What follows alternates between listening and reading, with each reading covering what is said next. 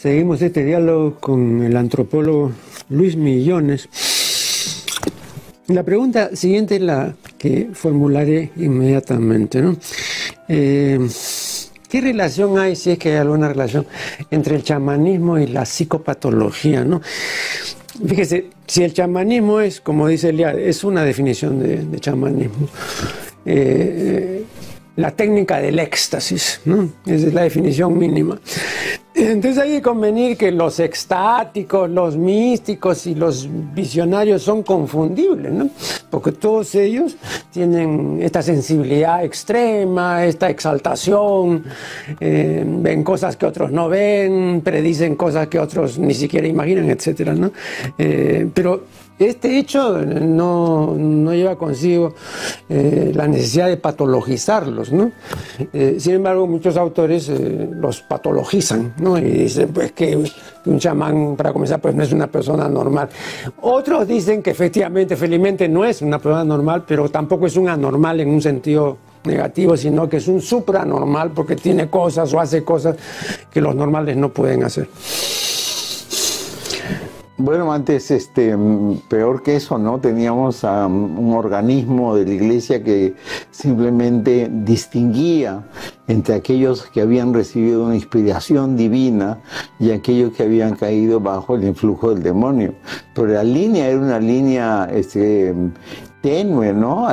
recordemos de que así como Santa Rosa fue elevada a los altares del mismo grupo que ella frecuentaba, las místicas, varias de ellas terminaron siendo castigadas por la Santa Inquisición. Entonces había un organismo que se arrogaba el derecho de hacer eso.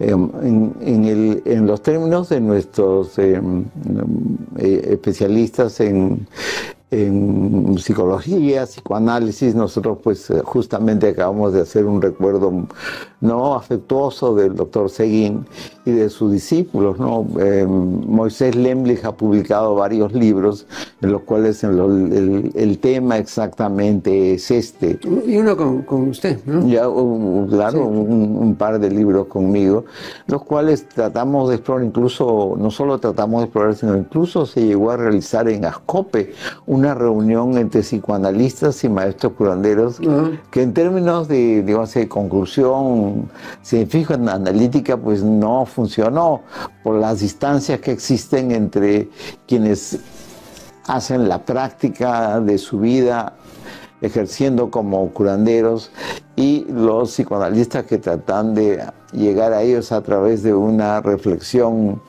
básicamente libresca. Entonces no, no funcionó, pero fue una interesante reunión de hace, que será, 15 eh, años, en las cuales este, por lo menos se hizo el intento. Mm. Mm, por supuesto, ya lo dijo usted, ¿no? Es este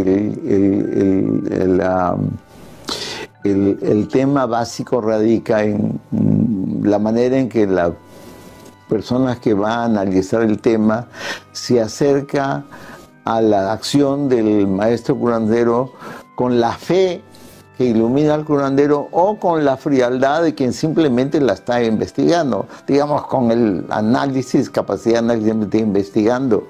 Entonces, em, em, la, la, calificación no puede ser em, básicamente desde un ángulo de vista de la psicología. Sin embargo, hay que reconocer que las estrategias de un maestro curandero apuntan a la angustia de los pacientes. Mm. Y ese sí es una realidad.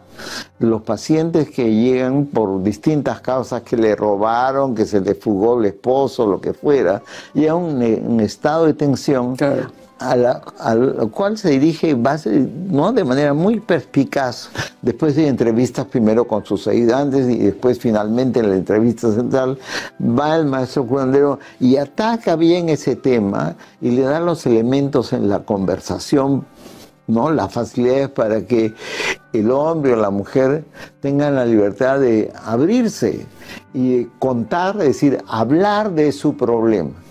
El momento que hablan de su problema ya es una estrategia psicoanalítica. Y lo que están diciendo lo ponen sobre la mesa y es el primer paso de la curación. Ahora, cuando se dice que que el chamanismo es esencialmente un fenómeno mágico.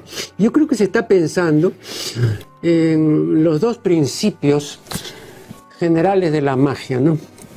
Que en realidad son dos mandamientos, ¿no? Haz esto para que ocurra esto otro. Y no hagas esto para que no ocurra esto otro. Entonces, con lo primero, ¿no? Lo que se pretende conseguir es un, bien que se ansía, ¿no? Eh, un propósito que se quiere, que se realice, ¿no? Y con lo otro es la evitación de un daño que se teme. Pero también algunos autores dicen que así como el curandero puede curar, también puede inducir enfermedades, ¿no? Entonces hablan, en ese caso, eh, del malero, ¿no? ¿Qué es exactamente el malero? Ah, es, un excelente tema, ¿no? Y muy bien que lo traiga. Una de las, una de las em, primeras conversaciones que tengo cuando conozco a un maestro curandero es decirle, mire, usted en realidad no dice que es curandero, por fin tiene un don de Dios que lo hizo curandero. Pero usted tiene dos mesas, la mesa curandera y la mesa ganadera, que es ganadera de ganar, no de ganado. Y en esa mesa de ganadera usted lo que hace es enfrentar al maestro curandero o al señor malero que le ha hecho daño a su paciente. Entonces usted se enfrenta. ¿Y cómo se enfrenta? Usted se enfrenta con agrediéndolo a él mágicamente para que este señor pues retire su maldición, etc. O sea, en ese momento usted deja de ser curandero y usted se transforma también en malero. Así que no me cuente que usted es solamente curandero o que existe malero, sino que todo, todo maestro las dos cosas. Ahora, ¿esa es una situación general o hay excepciones? Ah, general. Ah, general. Claro, el maestro curandero tiene que combatir al que ha hecho daño a su paciente. ¿Y cómo lo combate?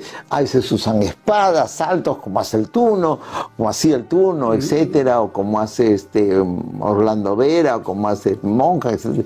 O si no, este, basta con los conjuros, etcétera. Pero, pero. Mm, entonces, de, ese, ese, es, ese, es, el ángulo que los cuales ellos prefieren no hablar. Pero eh, si uno va a una religión como la cristiana, y sobre todo en su manifestación católica, eh, es lo mismo en relación con el demonio, ¿no?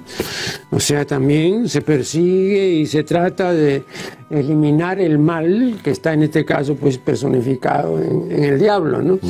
Pero eh, psicológicamente eso me parece completamente ingenuo, ¿no? Porque el mal forma parte de nosotros, ¿no? Entonces, este, de lo que se trata no es de poder liquidar el mal, ni de, ¿no? Porque eso no puede ser posible, pero sí de incorporarlo, ¿no? Sí, sí, somos pues, este, como decía Ortega, somos medio bestias y cachorros de arcángel, decía, es una combinación, pero no vamos a ser solamente cachorros de arcángel. Qué bonita frase. Sí, sí. Una frase fantástica. Entonces, por eso digo yo, este, ¿no le parece psicológicamente improcedente? Eh, pero eh, es efectivo para el maestro curandero cuando trata al paciente. Así, ¿no? Así es efectivo, porque el paciente entonces que se siente agredido porque su automóvil se le malogró, le robaron sus cosas, entonces de pronto se siente confortado por alguien que asume el papel de defensor suyo. Y que mágicamente, si no, lo, no le restaura, va a restaurar sus bienes, por lo menos le va a dar el espacio de paz para que él reflexione y salga del problema. Y en eso sí son efectivos los maestros curanderos. Por eso es que en las postas médicas donde están los chicos del serum o los médicos jóvenes, ya se acepta de que hay determinados males que mejor los trata el curandero. Y también maestros curanderos que viene alguien con no que se ha torcido el tobillo y dice, mira, tú hasta la posta médica. o sea, hay una distribución. Hay una distribución. Y eso realmente, yo creo que Cabieses hizo muy bien en crear una dirección de medicina tradicional. Ojalá le den el apoyo que necesite. Y existe, creo que en el colegio médico también también por fin un reconocimiento de eso. Pero sí, el hecho de que el maestro curandero asuma esta condición de defensor, este, ya pisa terreno firme con la confianza del paciente. Eh, yo recuerdo que el doctor Zein nos decía, por ejemplo, que en los casos de un alcoholismo crónico, ¿no? la medicina oficial se veía en apuros, ¿no? y que era muy difícil, si no imposible, ¿no? resolver un caso de alcoholismo eh, crónico pero que había visto que esto mismo era tratado de otra manera y con muy buena perspectiva de éxito eh, por los curanderos. Y tenían otro tipo de acercamiento y usaban pues otras técnicas eh, y, bueno, era un hecho. Bueno, hay, un, hay ahora hay un, médico francés que, trabaja en la selva, exactamente no se acuerdo dónde, pero que está usando este, ayahuasca para el tratamiento de adictos, de adictos a, claro, cocaína o heroína y que dicen que tiene mucho éxito. Habría que ver cómo lo está haciendo, no he tenido oportunidad de visitarlo. Pero, Pero perdón, a propósito de, de las drogas y de los alucinógenos, ¿usted cree que esto es eh, absolutamente constitutivo y necesario o que es un medio, digamos, de alcanzar ciertos fines, en este caso terapéuticos, pero que no es esencial? Bueno, lo que sucede naturalmente es que ni el San Pedro, ni la ayahuasca, ni la huilca, que se, ahora se usa, casi no se usa, es, es este, son todo lo contrario a una, a una, a una, a una sustancia adictiva, son revulsivos, son purgantes. Entonces la idea es justamente limpiar el cuerpo con la que empieza el tratamiento de y tiene este efecto psicológico de la persona que usted necesita una purga.